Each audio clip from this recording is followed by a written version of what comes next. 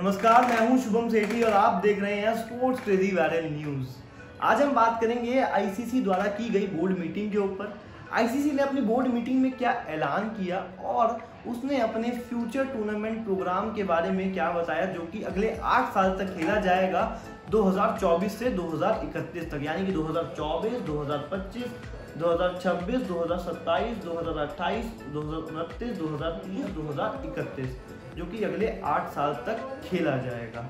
और बीसीसीआई द्वारा मांगी गई आईसीसी से मोहलत एक महीने की तो क्या आईसीसी ने उसे मंजूरी दी या नहीं दी?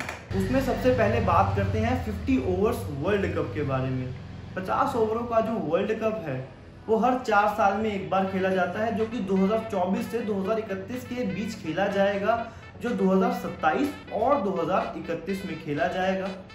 इसमें टोटल चौदह टीम्स पार्टिसिपेट करेंगी। पहले इसमें दस टीम्स खेली जाती थी।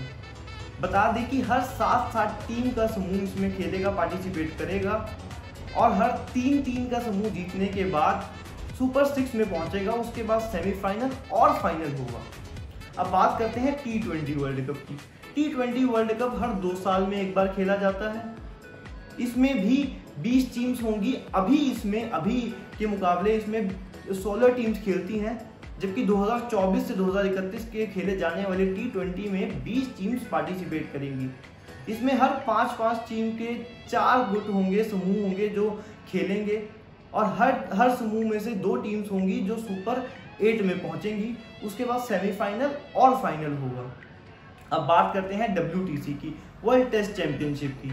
वर्ल्ड टेस्ट चैंपियनशिप जैसा कि आपको पता है 2021 में इंग्लैंड में खेला जा रहा है, न्यूजीलैंड और इंडिया के बीच। ये भी हर दो साल में एक बार होता है।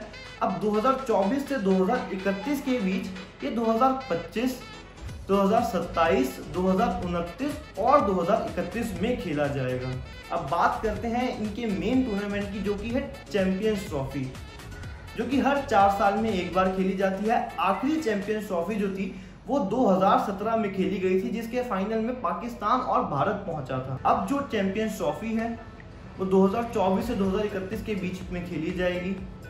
बता दें कि इसमें 10 टीम्स पार्टिसिपेट करेगी। अब बात करते हैं आईसीसी द्वारा किए गए पुरुष टूर्नामेंट और महिला टूर्नामेंट और अंडर 90 टूर्नामेंट के बारे में।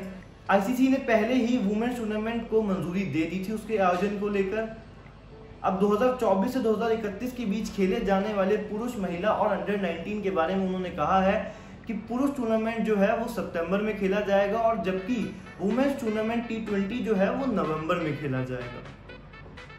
अब बात करते हैं आईसीसी द्वारा की गई वर्चुअल बोर्ड मीटिंग के बारे में, जिसमें प्रेसिडेंट बीसीसीआई के प्रेसिडेंट सौरभ गांगुली और जय सचिव शाह भी शामिल थे। उन्होंने बीसीसीआई से 28 जून तक की मोहलत मांगी थी टी ट्वेंटी विश्व कप को भारत में कराने के लिए।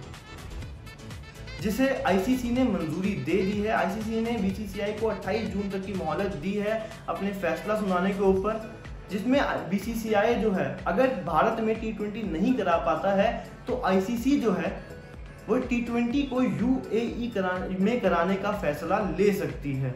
अगर आपको हमारी आज की न्यूज़ पसंद आई तो लाइक शेयर कमेंट करना मत भूलिएगा। और ऐसे ही मज़ेदार खबरों को देखने के लिए देखते रहिए स्पोर्ट्स क्रेजी